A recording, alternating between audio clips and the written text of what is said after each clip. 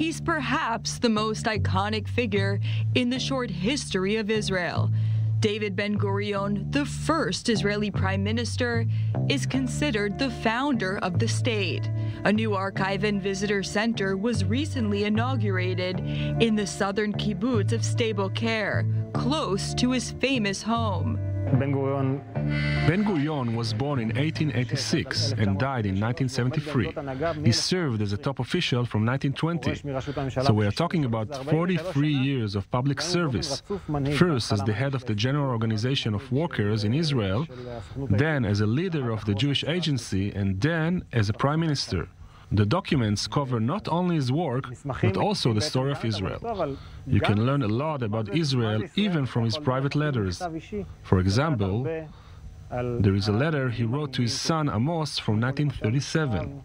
The letter starts with Ben Gurion complaining, Why don't you write to me more often? Like a good Jewish father. But then he writes the reasons why the Jewish people should accept the recommendations of the Peel Commissions from 1936, which recommended partitioning Palestine into two countries, Jewish and Arab. Ben Gurion was in London at that time and participated in the discussion. He supported the Peel Commission resolution, although most of the Jews in Palestine opposed it including his own son. Hundreds of thousands of documents, letters, pictures, and many other items are located here in this archive, many of them presented to the public on the first floor or online. The exhibition showcases some rare items from which we can learn about the history of Ben Gurion and the Zionist movement. In 1953, Ben Gurion is Prime Minister and Minister of Defense for five years.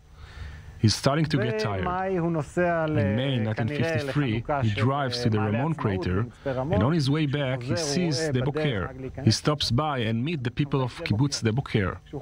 When he comes back to Tel Aviv, something happens to him. After a week, he writes to the members of Sde Boker. Dear friends, on the last few days I read in the newspaper that you celebrated a year since your founding.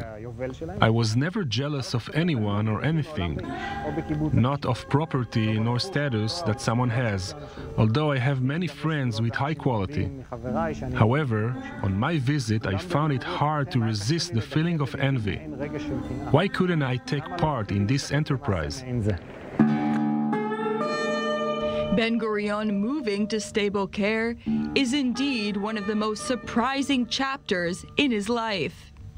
This small kibbutz in the Negev desert, around 50 kilometers from a big city, was established by a group of Israeli soldiers who wanted to pay tribute to Jesse Slade, a Native American soldier who had a vision to create a cowboy ranch in the desert.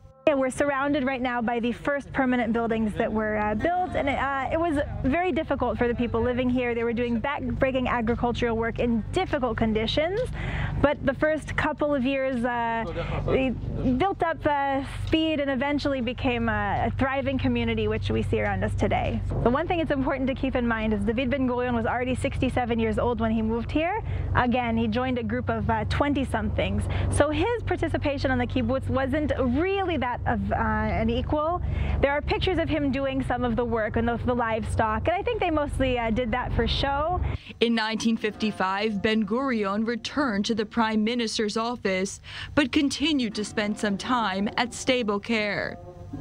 It was his home until his death in 1973, where he hosted celebrities, leaders, and even common people who used to meet and talk with him. His vision was to make the desert bloom and make it a thriving area in Israel. So that's another question which is very open-ended in their discussions about it. I would say that there was no expiration date on his vision. He didn't say that by the year uh, 2025 we need to have 5 million Jews living in the Negev, which is one thing he did say, that we could have 5 million Jews living in the Negev. Uh, so we're certainly nowhere close to that, but at the same time I see that we've made leaps and strides in developing the Negev as a cultural center, especially around Beersheba, but not only The Negev is 60% of uh, Israel's uh, surface area, but we only have 8% of the population. So we're nowhere close to what he envisioned. Nevertheless, in his uh, statement of wanting to make the desert bloom, I think we are making it bloom in certain ways. In Israel, in order to be realistic, you must believe in miracles. These words by David Ben Gurion perhaps capture not only his character, but the vision of people here in the Negev desert.